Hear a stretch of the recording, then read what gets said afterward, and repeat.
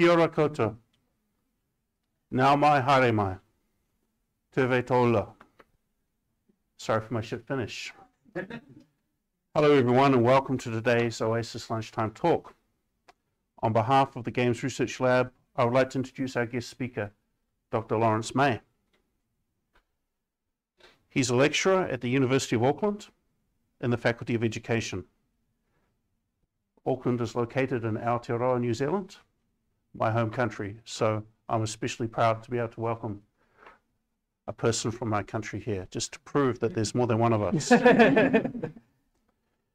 uh, he is currently a visiting scholar at the Centre of Excellence in Game Culture Studies at Tampere University. Larry's work examines emergent play, ecology, and apocalypse in video games. His book, Digital Zombies, Undead Stories, Narrative Emergence in Video Games, was published by Bloomsbury in 2021. It's a great book. I've read it twice. Um, today he'll be speaking to the topic Ephemeral Ecologies, Player Paratexts at the End of the World. Larry will be speaking for approximately 40 to 45 minutes, and the remainder of the hour we will be devoted to questions from the audience. So if you do have a question for Larry, just wait until then to ask that question. Uh, Larry, thank you very much. The floor is yours. Welcome. Thank you, Tom.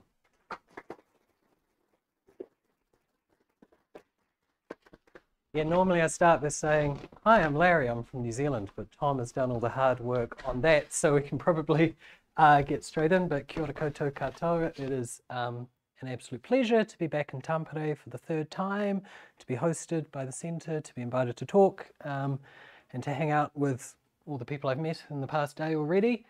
Um, so we'll just crack straight into it. I've titled my talk Ephemeral Ecologies, and that's because the project I'm reporting from hopes to illuminate a few things, right? So the first thing is the ways that emergent and ephemeral ecological dynamics are generated by players through contemporary games. Uh, the second is that user-created paratexts are a kind of ephemera that bear quite important ecological qualities. And the third, uh, and I've said this one's ironic, it's a kind of ironic inversion uh, that ecologies in the real world and in video games are not ephemeral to one another. Rather, they're quite closely, quite tangibly uh, entangled. So that's the headline, and hopefully we tick off all three things by the end. Um, I think we're all familiar with the dire state of our planet amidst uh, human-induced ecological crises. I probably don't need to bang on about this too much, but our extinction beckons thanks to human hubris and industrial capitalism's sort of voracious appetite for fossil fuels, for accumulation, for waste, for toxicity. Uh, and during the Anthropocene, which is a contested term but a useful shorthand for this kind of era where humanity has seeked dominion over the planet, uh, we've, as you know, We've ravaged environments, climate systems, and our ecosystems, right? It's not a, it's not a particularly pleasant picture. And as the uh, planetary assault of the Anthropocene has worn on, eco-critical analysis within game studies has expanded significantly. Uh, and I'm sort of shortcutting, spending too much time with the literature by saying, here are the people who have helped me to the point where I am today, organized in some loose piles. Um, and this is not a complete picture at all. Um, Eco-critical game studies has particularly benefited, I think, from some foundational models. Ben Abraham and Darshana Jayemanne, uh, they, uh, they've offered a typology that you might be familiar with that helps explain environmental dynamics within games. It positions environments as backdrop, uh, antagonist, text or resource. And then Alenda Chang in Playing Nature uh, has given us a really wonderful comprehensive account of the way that um, virtual environments and our lived worlds bleed into one another. Uh, and the, the cool thing about these is these frameworks not only serve to explain sort of plainly ecocentric or ecology focused games, but they can also help us um, illustrate conditions, traditions, of ecological engagement in texts that are like less obviously engaged with ecological concerns on the surface. Uh, And given that games offer players rich opportunities to experiment meaningfully with present material, social, and political conditions, as well as futures, it's completely unsurprising that their entanglement with ecologies is of interest to scholars, right? And uh, Robbie Fordyce is probably one of my favorite people writing on that. So, let's get to the guts of it. In common with sort of earlier eco-critical work, especially by Ben Abraham, uh, Mateusz Felczak, uh, my discussion of ecologies is framed by the work of philosopher Timothy Morton, uh, including his expansive notion of the ecological thought, which you might have encountered already. Uh, Morton emphasizes that ecological thought does not attend solely to nature, uh, but it extends to encompass every aspect of our existence. Uh, so this awareness of the interconnection and interdependence of all forms of life is captured by Morton with this metaphor of a vast sprawling mesh of interconnection without a definitive edge or border. Um, so the mesh reminds us that nature is not a separate entity from humanity, but rather a complex web of relationships uh, with no hierarchy built in. And once we engage more and more with such ecological thinking, uh, the more our world opens up because it becomes, as the quote says, uh, strangely or frighteningly easy to join the dots and witness the entanglement of all these different life worlds. So, Morton's mode of ecological thinking demands a radical decentering of the human agency that is so prized during the, the Anthropocene, right? And it requires us to see and think in assemblages.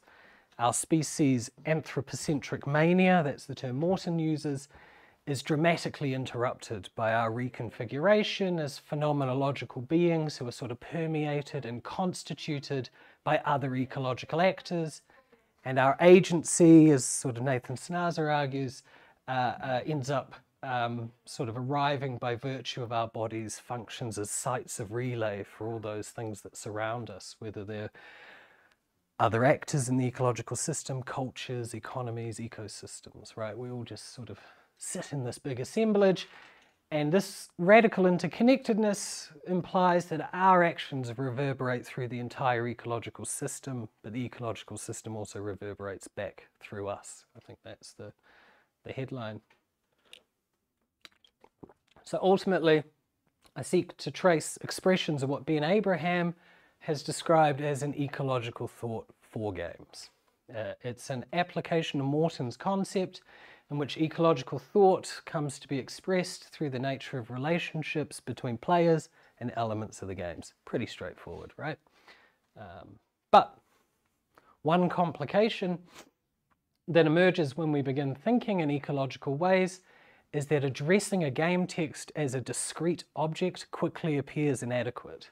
Uh, Abraham observes that thinking ecologically challenges our very notion of the boundaries of the play experience, and that while analysis of the eco-critical characteristics of a game is possible, often the actual ecological engagement of play exceeds this partial analysis. So in response to this challenge, I have turned to paratexts created and shared by players in online communities in order to sort of analytically expand the boundaries of the game text or the game experience.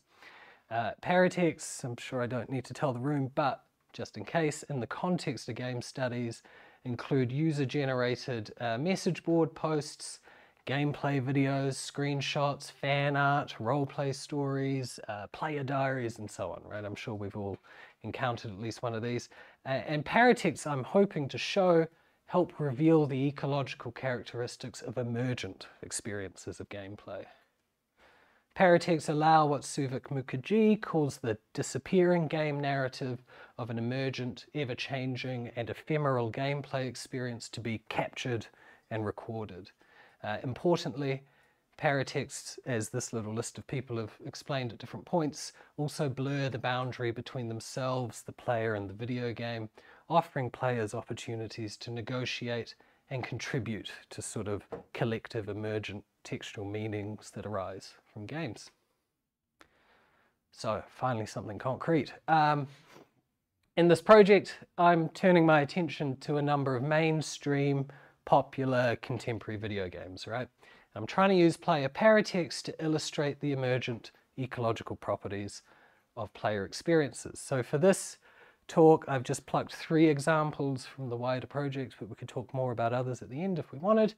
Uh, and so I'll discuss Battlefield 2042, Animal Crossing New Horizons, and Cities Skylines, which I suspect you're all familiar with in this city. Um, and I do just want to pause to acknowledge a man by the name of Ben Hall, who's a doctoral student of mine, who's sort of been working at the coalface, doing the dirty work of actually uh, getting all the paratext going on Reddit every day. Uh, he gets paid for it though. It's not. It's not exploitative.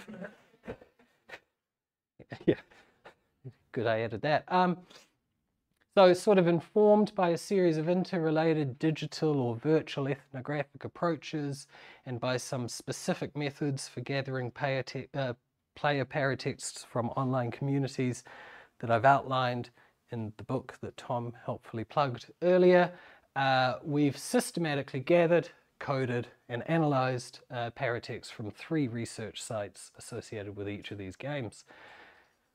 The research sites were the three largest publicly accessible English language online forums associated with each game, and just for full transparency, here they are. And if you're familiar with any of these games, these are probably kind of what you expect to see up on the screen right now, I hope.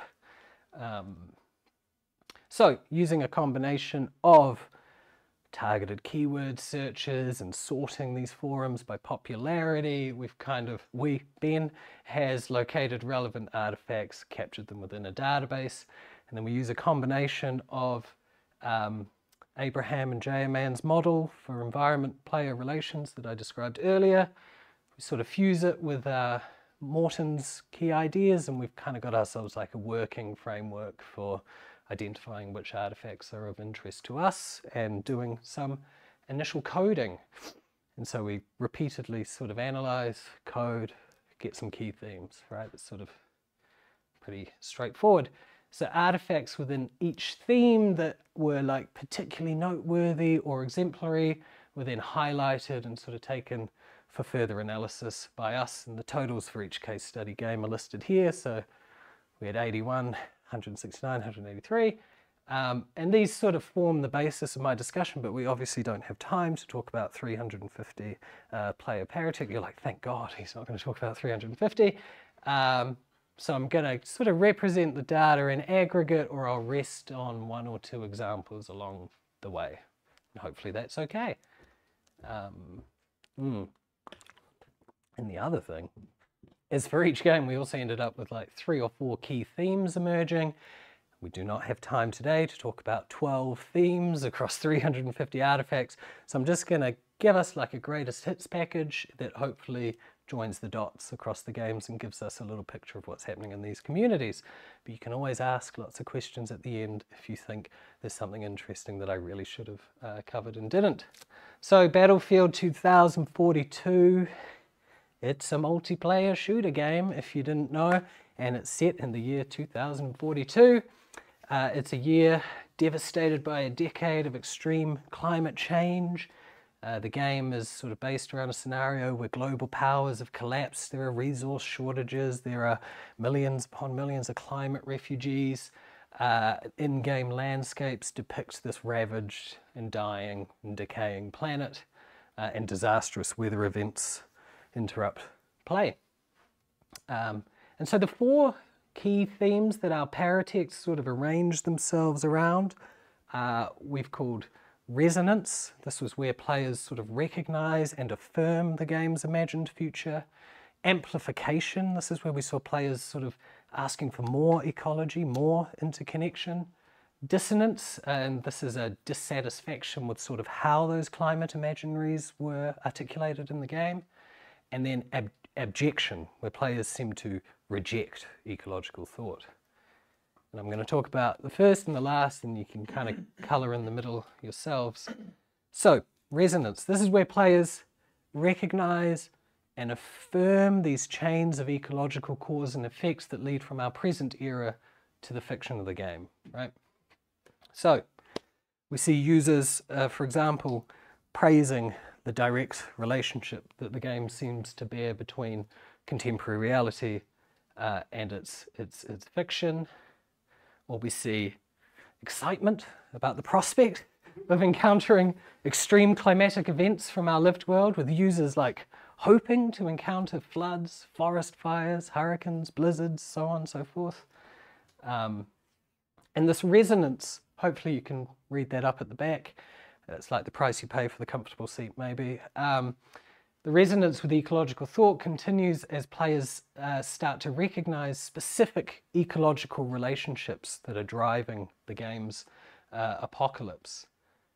So here in this example, contrasting the game's representation of Indian and Singaporean settings, uh, one player points out that the game actually illustrates the inequity of strategies for global adaptation to climate change, forecasting the kind of disproportionate devastation of the climate crisis upon developing countries.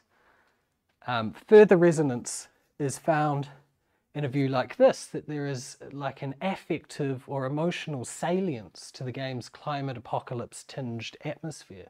So this player identifies that they feel an emotional distance when playing first person shooters that are set in historical conflicts, uh, but they suggest that Battlefield 2042 forces emotional engagement through the horror and urgency of its connection to contemporary life. So we find players orienting themselves toward ecological thought and with the reality, as David Collings tell, tells us, that along with the, uh, the polar ice shelves, climate change is melting the narrative in which we participate as humans. And maybe these players, we could say, are affirming or recognizing that we're already living in the ruins of the future, right?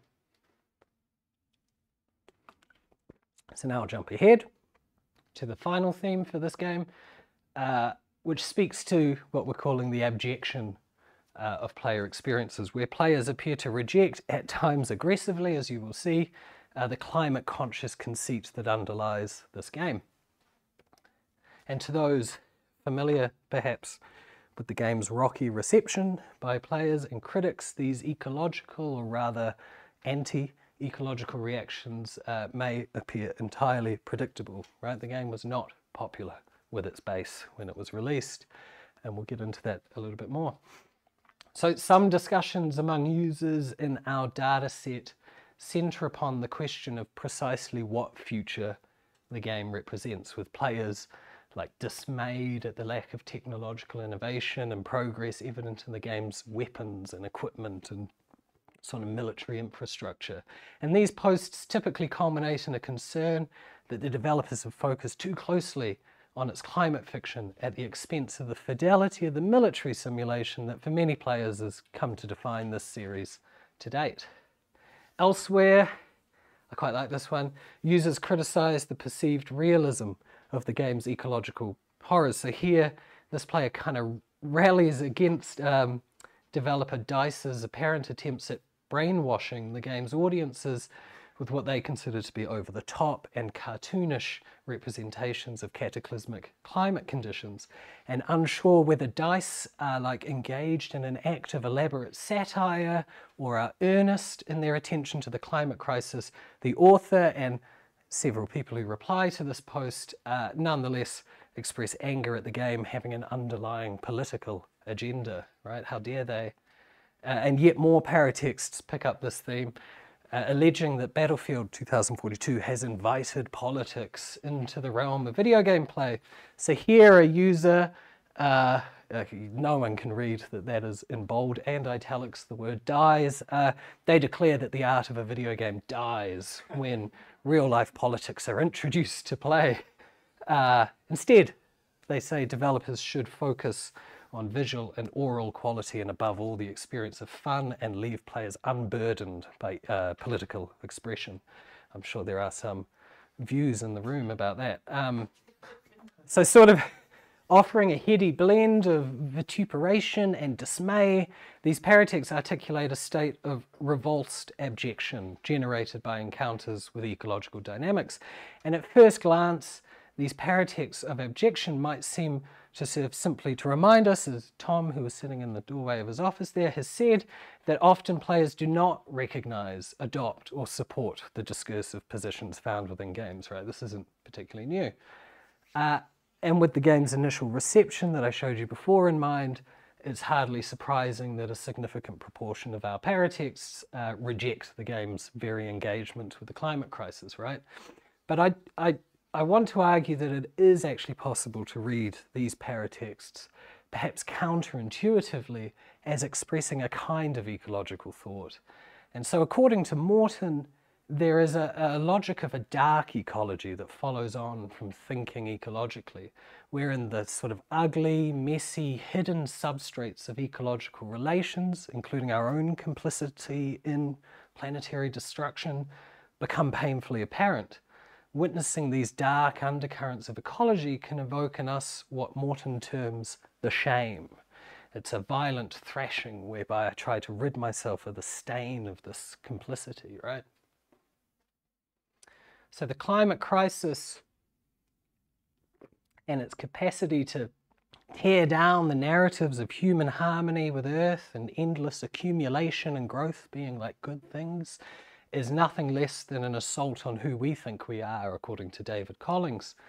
Riven by the knowledge of human complicity in the great crime of ecological collapse, and confronted by the climate catastrophe's sort of anti subjective challenges, it's a natural response, I think, to lash out with anger, rejection, and even, per Morton, a shameful laughter. Uh, that sort of masks our guilt and is an attempt to wipe away the evidence of one's own abjection. Morton uh, suggests that using ecological thinking to cross the boundary into the true darkness of ecological relations requires a recognition of trauma, an acknowledgement that we never wiped away the vomit, so to speak, and that we never could. Uh, and I suggest that maybe in these negational paratexts, uh, we see some gestures towards the possibility, I'm couching this in a lot of tentative language, uh, that some of their creators might be approaching that figurative discursive boundary into the darkness of ecology, uh, ecological thinking. Now, this is going to be a seamless pivot from the gloominess of post-apocalyptic uh, player anger to the comparative idyll of Animal Crossing New Horizons. Uh, Hope the whiplash is treating you well. This is a life simulation game, I'm sure I don't need to tell you this, that draws players into the escapist fantasy of relocating to a deserted island and cultivating it into an idyllic paradise. Um, steeped in like this, this charming, cartoonish aesthetic and emphasizing a bucolic way of life, New Horizons appears to immerse its players in a virtual world predicated upon wholesome and ecologically conscious engagements with natural environments. Um, we pulled three exciting themes from our paratexts. The first we've called producing nature, and this is where players are at work creating nature as non-human by way of the image of a sublime landscape uh, lying separately from ourselves. We'll be unpacking that. Uh, the second is exploiting nature, where environment and ecology become an economic resource for exploitation and extraction. And the last one we've called mourning nature, and this theme captures player revelations of the ecological damage engendered by their relations with environments in the game. Uh, so I'm going to talk through just the first one, paratexts that reflect players engaged with the production of nature and its meaning. So players arrive on their deserted islands, uh, primed to undertake not only acts of construction, but also the kind of writing that Kyle Bohunicky identifies in the player Minecraft. It's a combination of nature and technology that transforms environments into user-crafted texts, right? That's in a nutshell.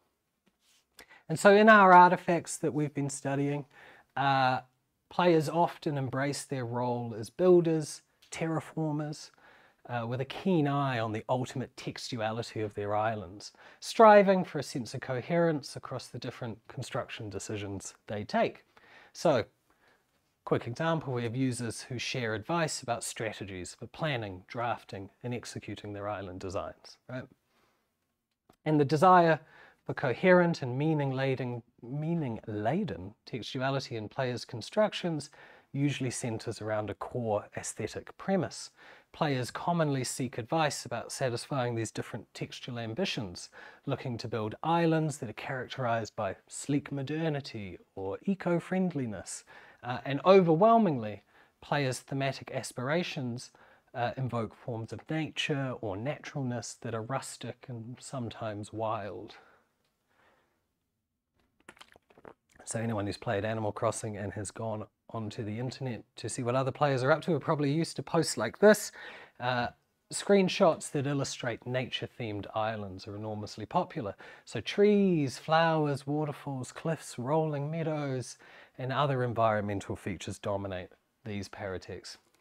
Other posts include advice sought on maximizing the appearance of fauna or attracting villagers whose underlying animal species are like more sympathetic to the um, wilderness environments that players are trying to construct.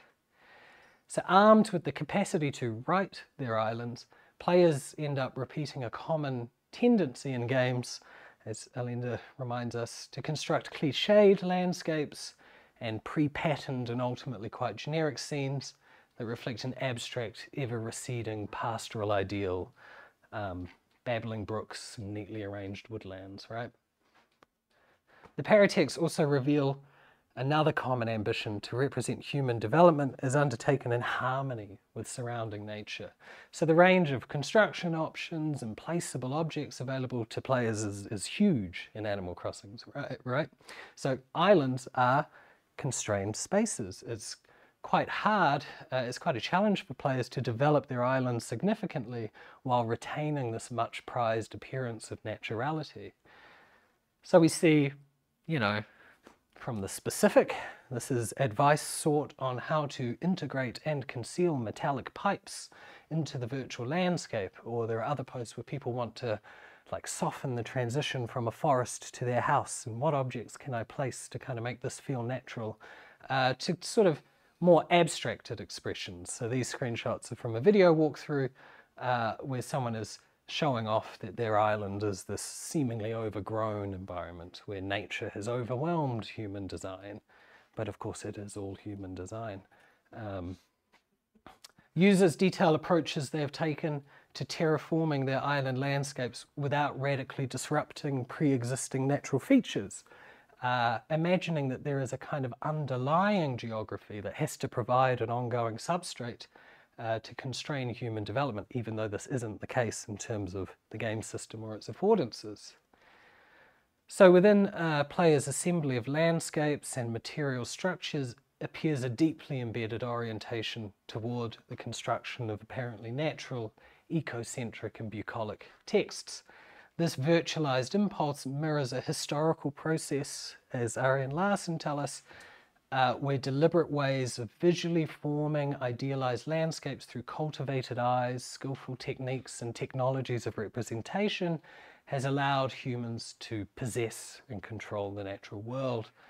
Starting with medieval and early modern conceptions of Earth's natural world as being organized according to a divine hierarchy, um, and sort of reaffirmed in the Romantic era, uh, where nature, sort of verdant, unspoiled, sublime, was raised to like quasi-mythical status by poets and artists. Our surrounding environments and their meaning have, have long been subject to human construction, right? So, uh, a culturally sort of situated dualism between nature and society is normalized through these idealized representations of ecologies. Uh, this imagined divide persists despite our experience of these natural worlds being actively constituted through non-natural processes, including the ways that many environments we consider unspoiled actually rely quite heavily upon human intervention to maintain. Uh, so, by continuing these long-running uh, traditions of constructing natures and idealized forms, uh, the players in our data seem uh, to embrace an assumed human mastery over nature and perpetuate what Ben calls uh, meta-narratives about the triumph of humanity over an untamed nature.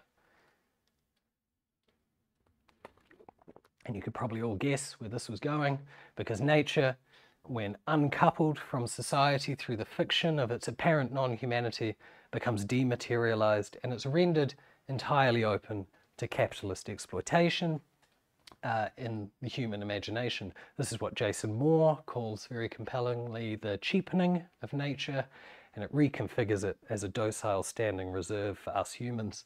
Uh, nature is made conceptually readily available for consumption by the techniques of appropriation, production, and the accumulation of capital. Sorry to bring the mood down. Uh, so you can see this paratextual theme addressing the active production of natures slides quite neatly into the next two uh, about the extent to which players actively put nature to work in the name of capital and its accumulation. But in another seamless transition, this is a thread we'll pick up with city skylines. Um, standing in the city I'm standing in, I probably don't need to introduce this game at length. It's a city building and management game. It's developed right here, isn't it? Uh, it engages its players in the process of the transformation of untouched landscapes into bustling cities, right? And players are granted wide-ranging physical and legislative agency to achieve this. Um, so, combing through the paratexts from this, uh, this game's communities, we found ourselves with three central themes, and the names got a lot clunkier this time, but the first one was producing eco-aesthetics. This is where we saw players seek quite superficially ecocentric aesthetics in the design of their cities. Uh, entangling ecologies, where we saw player decisions, game system glitches, all sorts of things combine to help manifest phenomena such as climate change or ecological collapse. Uh, and then finally, players adopting cybernetic logics in their engagements with ecologies, and this is the one we will discuss. So, sorry, uh, we see here an impetus to adopt uh, cybernetic logics in engagements with ecologies within play. In using the term cybernetic, I'm referring to closed systems of processing uh, that address massively complex, dynamic, and contingent circumstances. These systems are characterized by the centrality of positive and negative feedback loops, uh, and they use findings from these loops to try to create a seamlessly functional system. Right? And the system is constantly adapting and discarding dysfunctional uh, like elements in its quest for optimal action.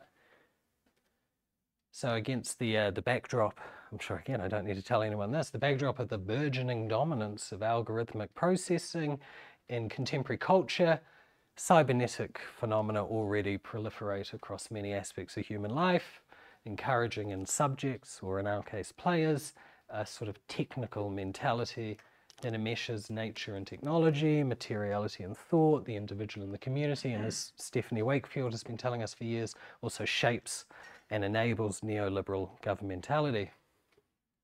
So, city skylines, its uh, underlying simulation is detailed and sophisticated, right? It's built to model uh, the social, cultural, and economic activities of up to a million virtual system uh, citizens. Sorry. Uh, this underlying model provides players with countless feedback loops and systemic inputs that they must master to foster thriving cities.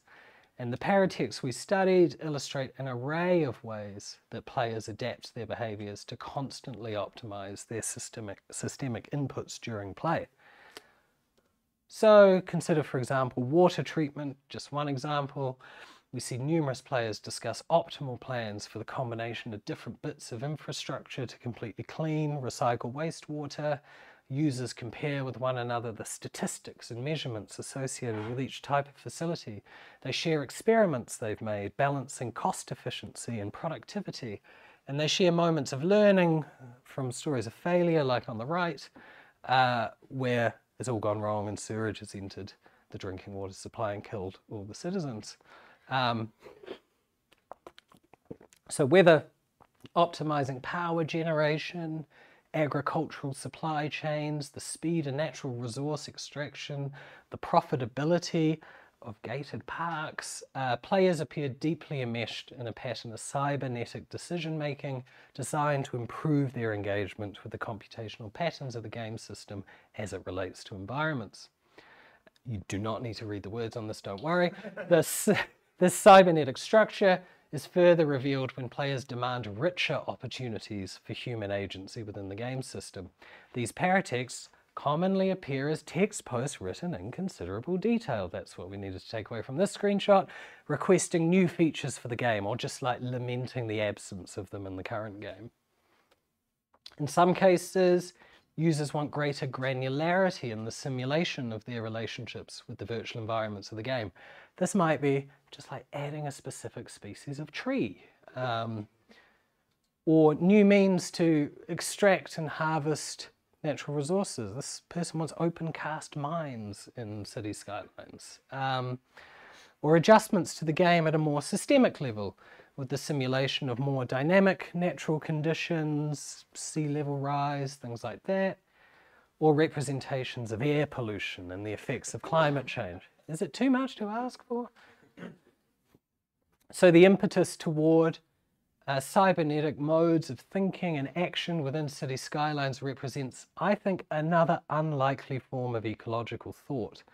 Inasmuch as as ecological thought demands that close attention be paid to interconnection and the long chains of cause and effects that make up the ecologies of our life worlds, cybernetic phenomena similarly speak to links, loops, inputs, outputs, complex systems, right?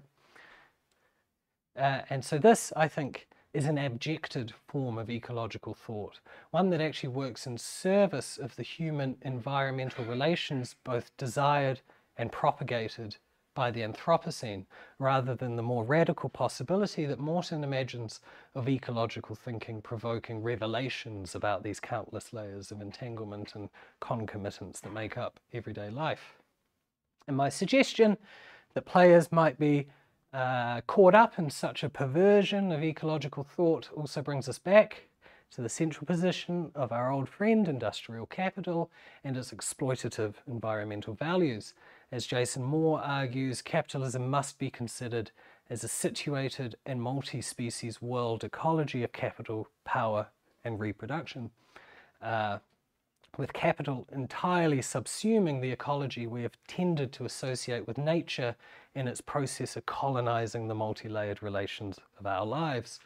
Uh, in appreciating that the ecologies that surround us, as well as the very concept of ecology, are permeated by the impulses of capitalism, then I think it's no great leap to think of ecological thought as also being prone to similar abjection.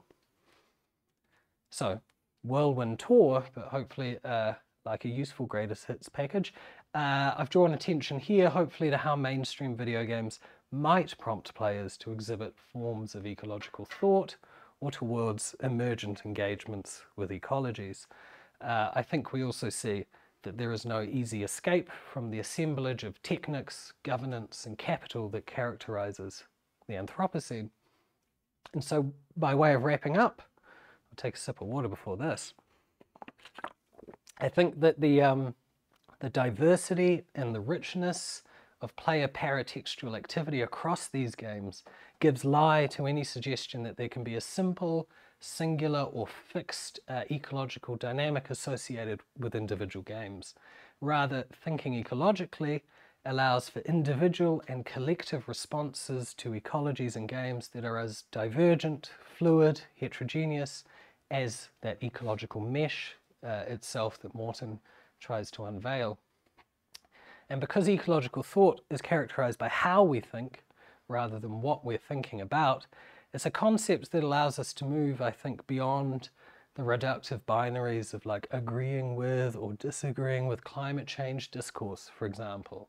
Ecological thought centers on the revelation, at times gradual, at other times rapid and overwhelming, of coexistence and interconnection.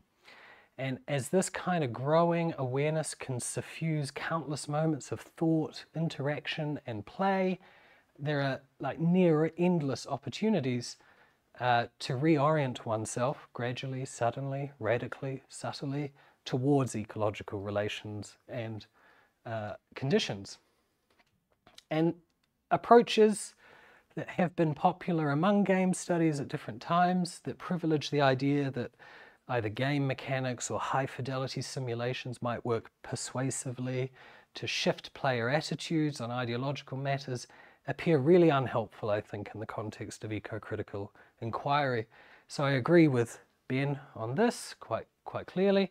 By turning our attention to ecological thought and the manifold ways that players are engaged in its emergence, I think we can begin to better account for the complex assemblages of ecological awareness that exist in the inner lives of players and also collectively in their play communities.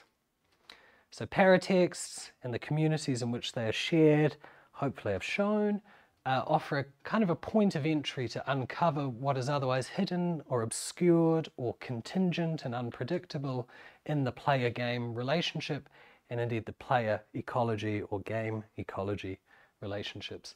These complicated, contradictory and emergent discursive patterns challenge presumptions that might be made about you know, quite singular player readings of or persuasion by games which incorporate ecological characteristics. And at a time when renewed attention is being paid to the material origins of digital media in terms of planetary resources, energy and waste, player paratexts also help us uncover the porosity between uh, both our lived material conditions and the digital game objects we play. And so also, these games and their players, I hope these paratexts have gone some way to show, uh, echo and refract and negotiate the ecological dynamics and futures that undergird contemporary life in the Anthropocene, and they remind us of the entanglement of play with the circuits of contemporary power and political and economic conditions. And then, uh, just in case my employer is watching, yay, they paid for it. Um, you're not going to read that. Thank you so much for listening.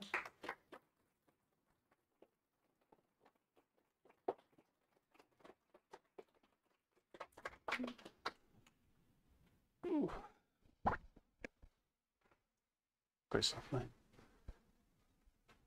All right, uh, we've got 15 minutes for questions now.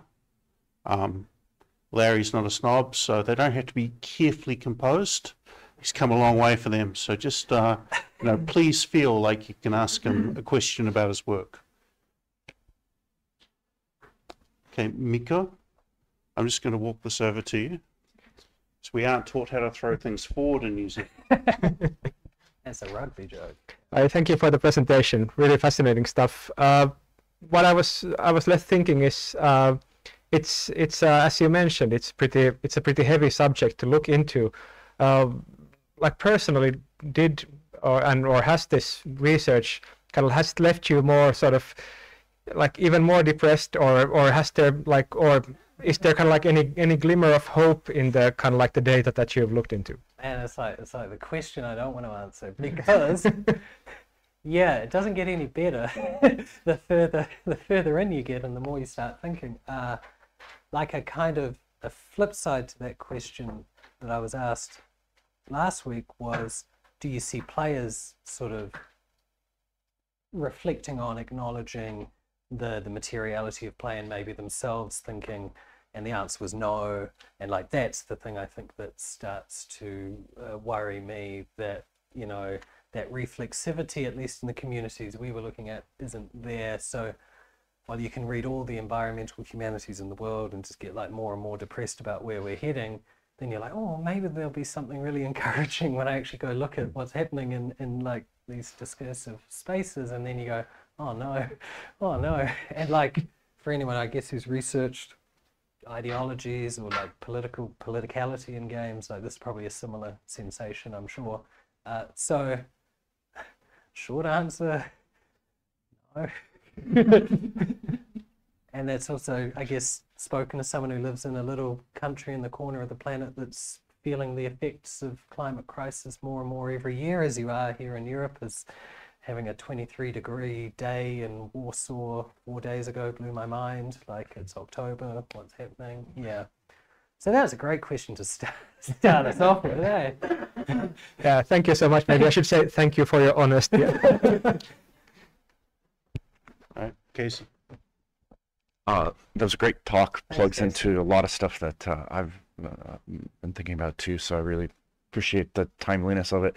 Um, there's a 2021 Nature article uh, about affective polarization.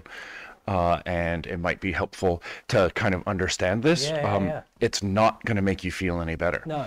uh, uh, because it's it's quite broken. Um, and some of the subsequent research that came after it, uh, the only way to solve it is to pay people. They actually know the real info. They they know what's happening. Yeah, Like, yeah. and convince them that their friends won't know that they think climate change is real. And if you're like, here's a twenty dollar bill, they're like, yeah, I know climate change is I'll real. Like. Yeah, yeah. it's horrible. Anyway, uh, so to my uh, question, um, uh, and you don't have to have an answer because I don't think I, I don't know if I do either. Uh, no. So if games can't save us, uh, thoughts on what might? Yeah. And so also I will just rest on the affect thing for a second because that sounds like a really useful um, recommendation because I've been thinking about and Aska and I almost touched on this and then we realized we had to come here because it was 10 2. Um, but I've been thinking about apocalyptic affect a lot as like a thing that just seems to be surrounding us and permeating so much of, of, of our kind of relations at the moment. So I've I've not arrived there with this project, but I'm like, affect has to be a key way to explain different modes of player. It just everything just seems to be grounded in, in affect ultimately. So, thank you, Casey. Uh, what will save us? I don't know if Laura's on the stream, but we had a beer the other night, and we kind of circled around this question several times, and both arrived at well, it's really only direct action at this point, right? I think the the kind of how to blow up a pipeline sort of approach to things increasingly seems like the only way that the generations below us at least can maybe make a final stand and protect what the generations ahead of us have, have ruined for everyone. I d- yeah, so there's I can get really honest on this answer. Uh, so, for example, Ben Abraham, who I quote extensively, he left academia because this isn't maybe the space to fix these problems. And his, if you've read his most recent book, which is incredible, Digital Games After Climate Change, you know, his his conclusion is that we need to stop sitting around thinking about it. We need to stop worrying, as that quote I had says, uh, about whether we can change players' minds and persuade. And actually, we just need to decarbonize the hell out of this industry as quickly as possible, because that's what we need to do in every single industry as quickly as possible. So I often sit there going, what am I doing? Like, then I'm also like, this is the only skill set I have. So, you know, I guess we all contribute in our own way to developing mm, some hopefully rising tide of consciousness and desire for, for whether it's action or, or thinking around change. But I guess my short answer is every year we get further into this, I just think it can only really be direct action that radically turns the dial on this. I mean, maybe he had a question. Um, so yeah, the thing. God, Yep. can someone ask a cheerful question? Ah, Oscar will give us. Yeah, yeah. yeah. So th- this will cheer you up, Larry. Like we're preventing people from playing FIFA right now. Oh, yeah. The, the the carbon footprint of this room has dropped dramatically in the last forty-five minutes. Yeah. Um, so yeah, first of all, thank you, thank you for the presentation. Um, I'm very sorry because I'm dropping from not being cheerful even lower. Um, maybe because when looking at the sources you you presented now, or the the three three um, cases, we still see games which either are very close to the current reality in their like aesthetic representation, or we see games as let's say for example um, city skylines which propose that there is a way of building a sustainable city or the the cottage core fantasy of animal crossing of like ah there is even though it's a weirdly highly capitalistic society it still can be this nice little utopia. Um what and then battlefield i don't know maybe still there is a bit of this weird savior moment hero journey whatever the hell is going on there. Um what I'm wondering a bit is where would you locate the narrative of the post-cataclysmic and the idea that we especially see within quite a lot of environmental theory of the whole idea of how to change things or the possibility of changing Mm. things is basically we are way too late for that. So it's basically just we're heading towards the end. We're heading very fast towards the end. The only thing we can do is like making a little bit more of time. Yeah. So, mm, do you already recognize within the research like some difference also in the in the paratexts uh, produced, or is there some some take of yours on on the appearance of that specific approach? Yeah, that's a really good question. For a little while, I was worried you were like a closet accelerationist, and you were like, Oh "I've got to burn it all down God, today." no, no, no, no, no, no. Uh, but but there was like a nice save at the end of the question. Uh, yeah, so I think you've identified like a clear bias in the case studies. So we deliberately went for like super mainstream, super popular, big games. Uh, whereas, of course, there are lots of experimental games, art games, lots of wonderful indie projects that do position us in very unfamiliar. Um, not even, not just unfamiliar worlds, but I guess like unfamiliar spatial relations, temporal relations, and I think these things are super important. Um, and you know, if you think about the post-humanists, who I know you do think about, or people like Haraway, like those forms of estrangement are really important to to pushing our thinking forward. But yeah, the case studies we have obviously don't do that work. Uh, but in terms of what's within the paratext, so one of our other case studies is Death Stranding, which of course, like we all know that Kojima is super engaged in thinking about climate crisis, and that game is almost a statement of sorts from him.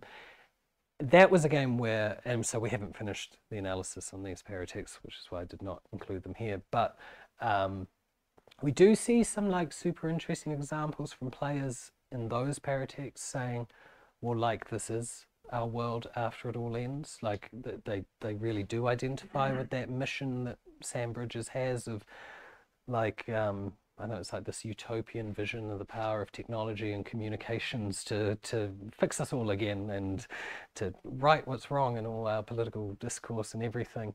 So you see players, and then, and then it gets quite complex because you see players going, yeah, this game is totally where we are in 20 years, and we need to gear up for our missions to climb across the mountains and fix everything. But then you also see players go, well, no, actually, ultimately, the game is just asking me to restage what went before. Like, this is the pattern of, of human hubris that leads us here. So, so from our case studies, not like super useful examples of that estrangement or that like thinking beyond to the post Anthropocene, but um, like certainly something we want to get to in some future iteration because as you know, the apocalypse is like my central interest. So yeah, thanks for a very good question.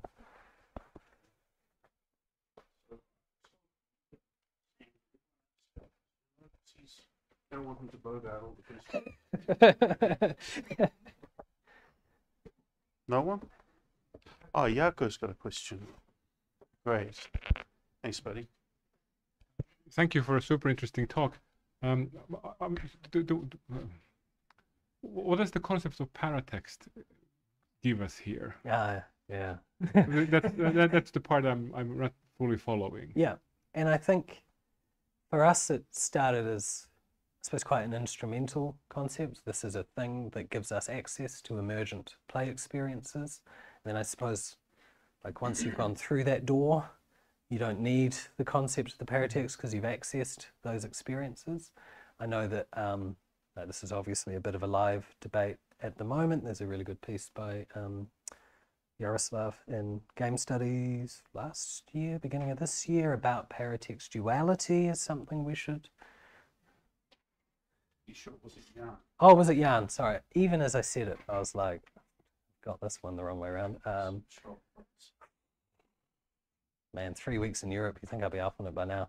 Uh, anyway, thinking about paratextuality as like a function rather than a kind of description of an object or an artifact. And I've become attracted by that, but I'm not I'm not there yet because I'm still, I guess, yeah, this this very instrumental approach to them as how do we capture emergent gameplay experiences? Well, here's one thing that captures a slice in time of a way a player engaged and helps us lay bare all of those ecological dynamics. So, what am I saying? I'm saying the paratext matters, but it also doesn't matter. Is that, or is that just like a New Zealand answer that that doesn't fly in the intellectually rigorous uh, climate of, of Finland? Um, You, you haven't quoted Genette. I know. I literally I deleted my Genette slide. so I was like, we don't need to revisit 1992 again. Um, but yeah, so this is kind of something where, like, with what I was saying about affect before is probably like our next urgent question. But we are kind of sitting there going, yeah, the paratexts have helped us this far, but I don't think they continue to be the be all and end all for what we want to think about. It's, it's a very good question. Yeah, we're all very good at finding the holes in what we've. Uh, Thank you. and Mikko's going to cheer us up. All right, well, we've got like three minutes left for a question. Mikko's like in the queue, but if if a student or guest was here, oh hey,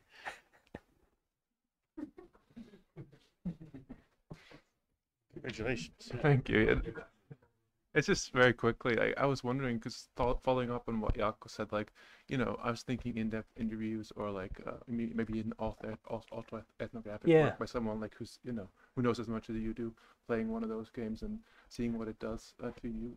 Have you considered like, or, or Yeah. is there work out there that does that? Um, I hadn't thought about the autoethnographic angle, which is like a major oversight because in the environmental humanities more broadly, autoethnographic work is actually like super common, especially like indigenous scholars, people in, you know, developing countries that are being completely fucked over by climate change. You know, these have become really powerful scholarly accounts of like the lived, the affective, the cultural experience of the Anthropocene. So yeah, I hadn't thought about that in relation to games. So th- that's a really good idea. And then yeah, I suppose the more like social sciencey interviews and all of that kind of stuff would be super valuable. It's just not the kind of it's not the kind of thing I get excited by doing. it's just like, oh shit, you're losing the room. Uh, I love reading it. I just don't like doing it. Okay. New Zealand is not enough to do autoethnography, right? Uh, they- you would be s- too humble to think that someone would, you know, wants to know what you thought about something based on your own experience. But yeah, yeah, yeah. Please listen. Uh, but the autoethnographic, sorry, just to go back to it, that would be really cool because you could really unpick the phenomenological experience of play alongside those ecological qualities, alongside the affective bit. Like it would be like a cool little nexus of things happening. Yeah, cheerful note to end on. How good. Okay, so we're going to wrap it up now. Yeah, um, Larry's got so many important things to do while he's in Finland. Thanks very much, um, Dr. May. Thank you, Tom.